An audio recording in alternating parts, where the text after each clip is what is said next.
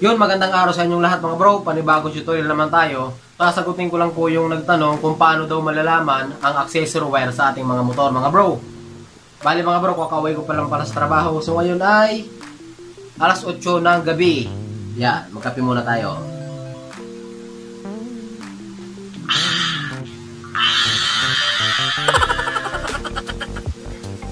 Bago natin umpisahan, kung mahilig ka sa mga ganitong video, huwag niyo pong kalimutan mag-subscribe and hit the notification bell para po lagi kayong updated sa mga videos na i-upload natin. Bali mga bro, itong accessory wire ay marami na akong na-upload ng mga videos na kasama yung accessory wire. Pero hindi talaga natin siya na-topic ng buo na pinag-uusapan natin yung accessory wire ng ating mga motor. So ito mga bro, siguro sa ibang mga nagmo-motor, sa mga ibang mga riders dyan, so kabisadong kabisado na nila kung ano yung accessory wire sa motor. Siguro yung nagtanong, so bago-bago pa lang siya, hindi niya kabisado yung wiring ng motor, kaya siya nagtatanong. So yun ang sasagutin natin para dun sa nagtanong. Sana makatulong sa inyo ang video na ito mga bro. So yun, umpisahan na natin.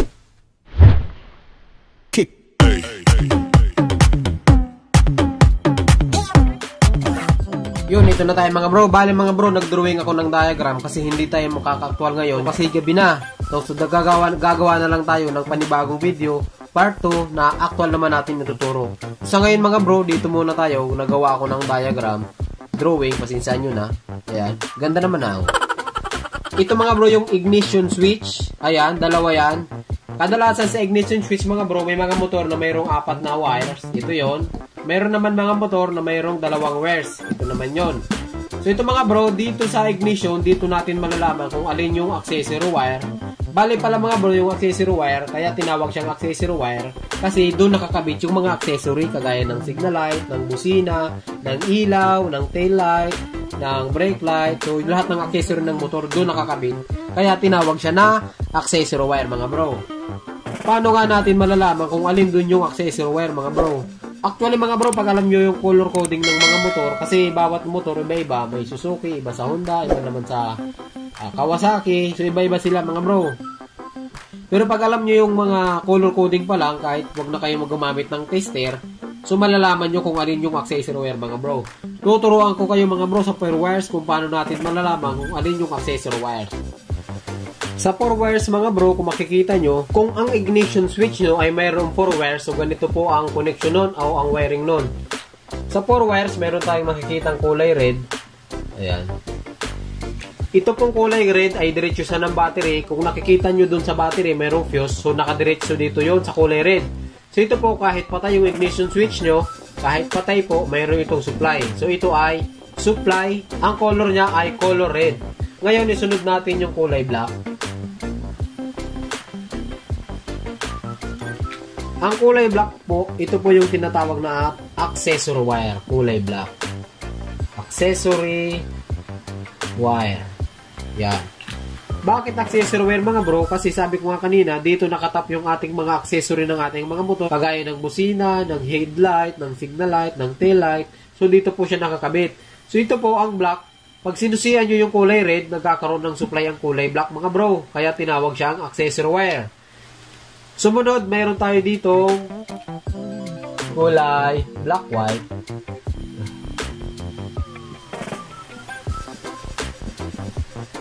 Ito pong black white, ito po yung tinatawag na kill switch mga bro.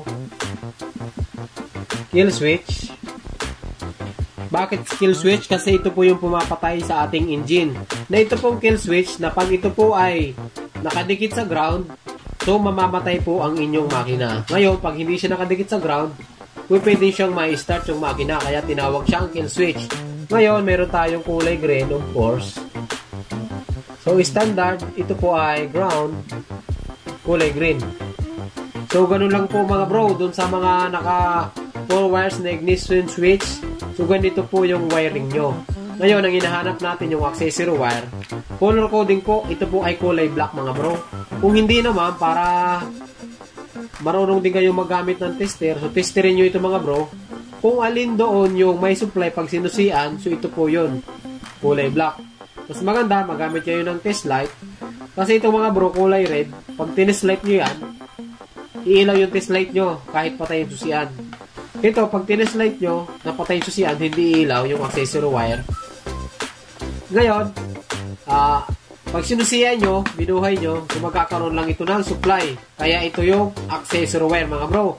Sana maliwanag sa inyo yung sa 4 wires na ignition switch mga bro. Ganun lang po kasimple, color coding, red, black, black, white, green. Ayan po ang makikita nyo sa 4 wires. Ngayon, ulitin ko, ang accessory wire doon ay yung kulay black. Ayan, tapos na tayo mga bro sa 4 wires. Dito naman tayo sa 2 wires. Mas madali na ito. Ayan, sa 2 wires mga bro, doon naman sa mga motor na dalawa lang ang wire sa ignition switch, kagaya ng Smash, kagaya ng XRM 125, kagaya ng Mio, yun, dalawa lang ang wires na nandun. So, kadalasan ng kulay nito, may kulay red. So, kulay red, kaparehas po nito ng 4 pins, ay ng 4 pins, kaparehas ng 4 wires. Yung kulay red po ay supply, nanggagaling po siya ng battery. Ayan, kulay red. Ang kasunod niya po, kadalasan niya, ang kulay orange, mga bro. Kung hindi orange naman, ang ang kulay nito ay red white na may stripe na white, minsan red na may stripe stripe na ah, black, mga bro. Ayan, ganun lang po mga bro. So ang accessory wire dito, itong orange mga bro. Kagaya nito, yung kulay red, kahit nakapatay yung ignition switch natin, lagi siyang may supply. Ito pong kulay red.